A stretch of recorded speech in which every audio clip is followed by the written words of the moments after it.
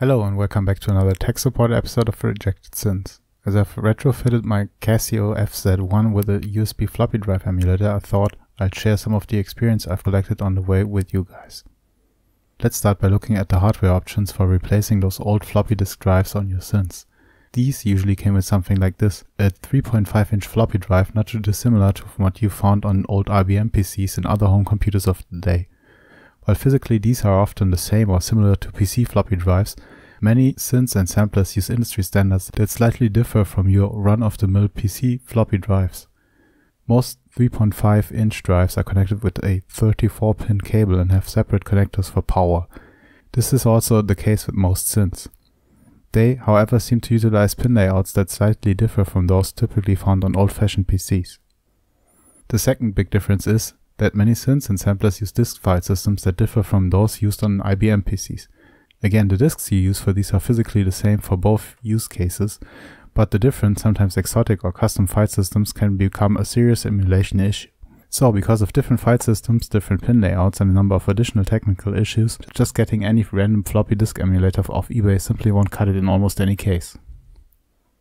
Funny enough though, with some modification, almost any dirt cheap floppy emulator off eBay could actually do the job just fine, as almost all of these are usually so-called Gotek drives or clones of Gotek drives.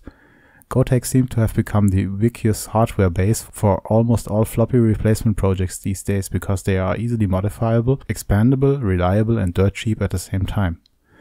Your run-of-the-mill Gotek drive will look something like this, or this, and the only thing holding it back from actually doing the job you wanted to do is the firmware on the Gotek drive, handling the emulation.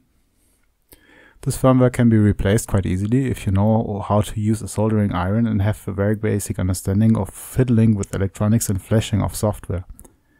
But even if you don't, there are always enterprising people on eBay who, for just a small fee, can handle this bit for you and sell pre-flashed and sometimes even pre-configured drives for specific synths.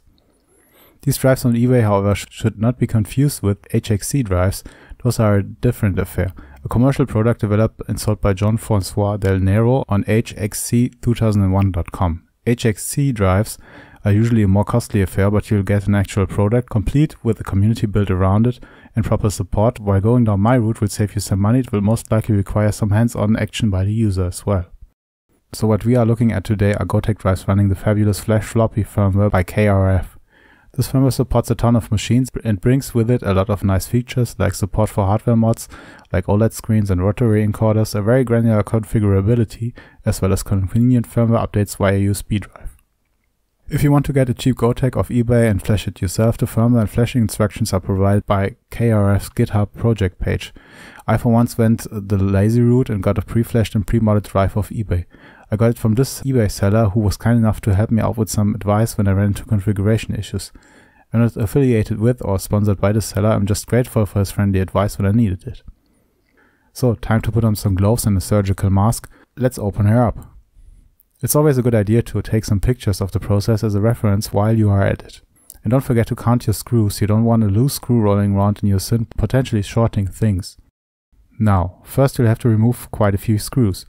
I'll start at the back here, you have to remove 7 identical big black screws in total, 3 on the bottom left and 3 on the bottom right, plus this one on the very right. Next there are another 3 screws each at the bottom of the sides. Finally there's one more screw located at the bottom front. These are the only screws you'll have to remove in order to be able to flip the front open like a car hood. Carefully open it, grabbing both sides and flipping it upwards like this. Next we'll have to remove the drive by first removing these two screws. These hold the drive cover in place that you can also flip open like this. You might have to wiggle it a bit though. Next you'll have to remove the four screws holding the drive itself in place. Carefully disconnect both the power and the ribbon cables. In order to properly connect the new drive you'll have to rotate the ribbon cable. If you can see the little nose on the cable connector, you've connected it the wrong way around, and this will happen once you power up the synth. One thing you want to make sure before you install the drive cover is that you've set the jumpers correctly, as some machines require certain jumpers on the Gotek drive to be set for the synth or sampler to be able to properly interact with the drive. Finding out what jumpers have to be set again can be a bit fiddly and varies from machine to machine. In some cases no jumpers at all are needed.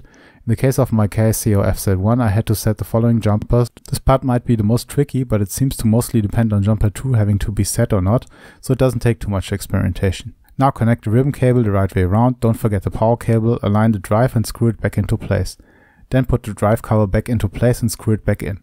Don't forget to put all the remaining screws back in, there are 14 big black screws that you'll have to put back in.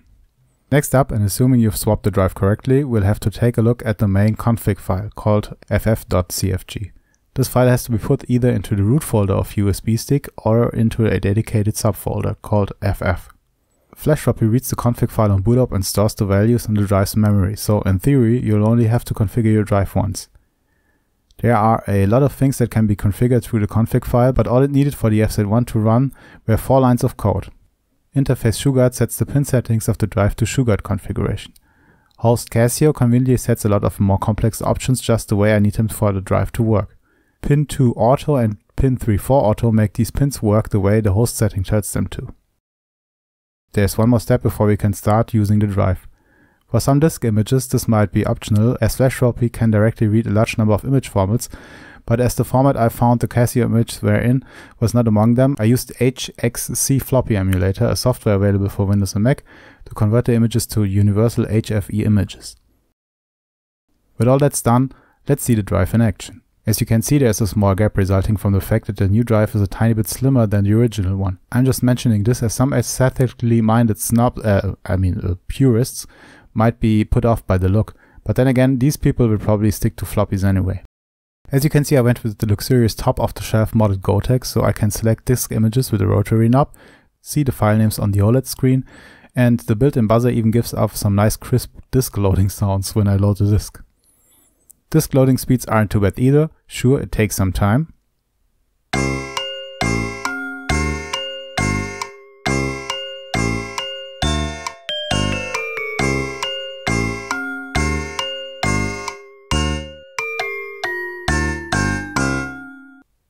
But then again, so did the real floppies. So I hope this video might uh, help some people get their Goteks up and running, bringing their vintage toys into the 21st century.